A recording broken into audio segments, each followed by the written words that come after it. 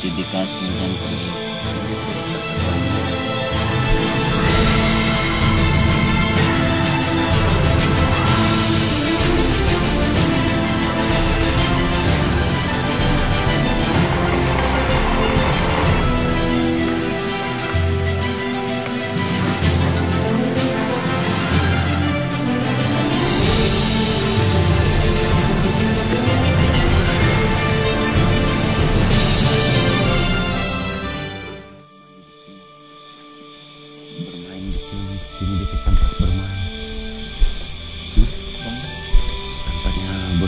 langsung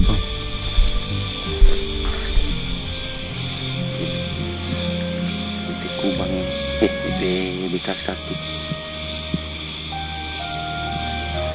sedikit terus di sini kan berapa makanan ini di sebelah yang bagus juga yang basah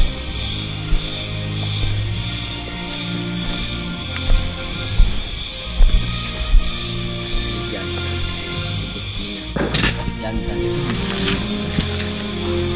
jantan dedikasi jantan kalau yang ini kemari? Betina bedanya apa? betina betina agak berbulat sedikit kecil itu. Nah tidak baruncing di kuku. Kalau yang ini? Eh pasar baru agak baruncing sedikit. Ini DP makanan ini dan pangit ini DP area ini DP pohon pokoknya ini jatuh ikut orang makan. Ke daun.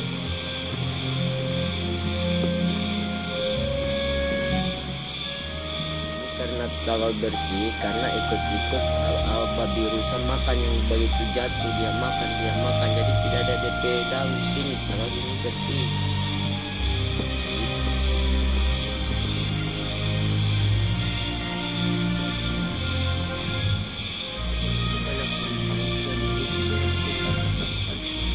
pokoknya dari sini sampai sampai meter puncak.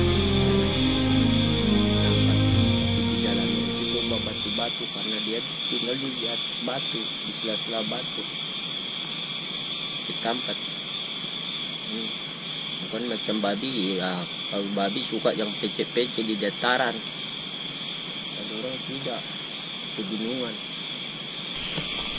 gimana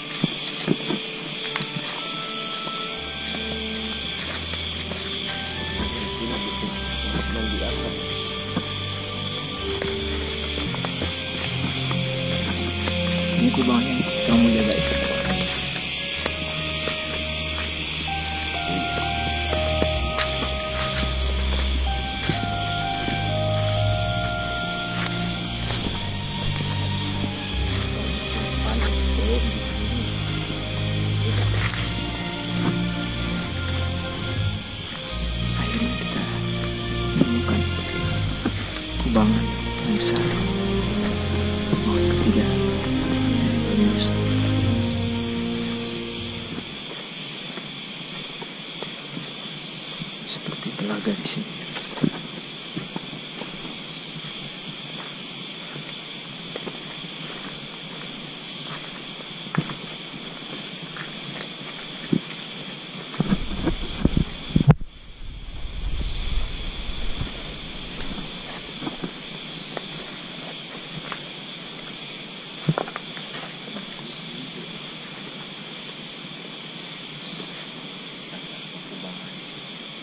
di di sini DP tempat minum kalau DP kubang di sana.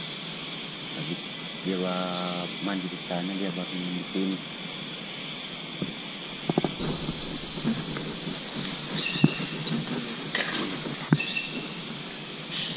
Di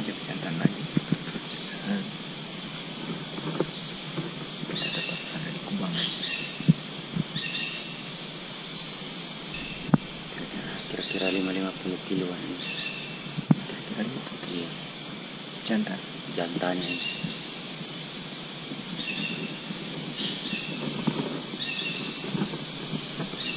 ini ada sudah kubangan iya. Berikutnya kita temukan untuk ini harus itu lubang lubang-lubang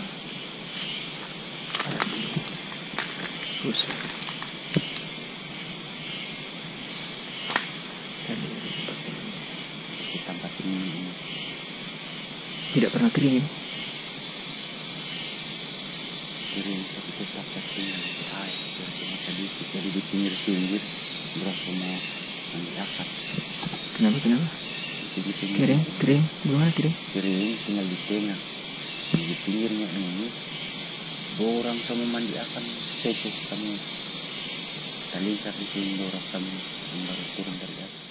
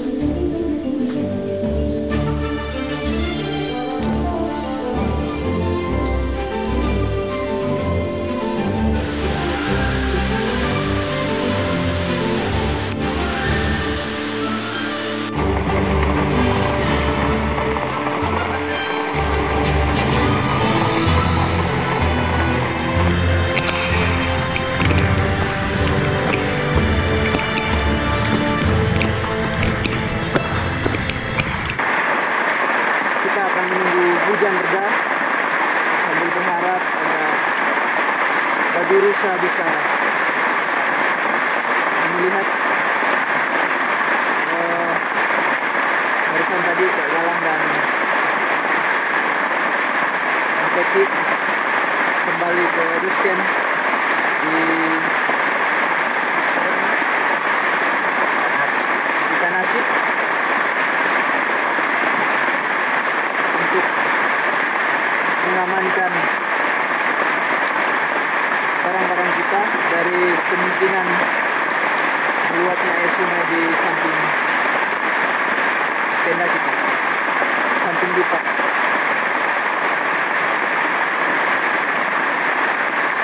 Kita lihat di sini hujan deras dan saya belum menyerah untuk mendapatkan babi rusa. Itu akan menjadi kepuasan dalam hidup ini. Sayangnya, menurut cerita para pemburu, eh, Tempeki dan Tempati, kalau saja hujan seperti ini, kemungkinan babi rusa untuk turun di telaga ini begitu kecil. Tetapi bila cuaca panas, mereka akan turun untuk berkubang, untuk mandi dan minum. Telaga itu. Semoga kita berhasil menemukan babi rusa.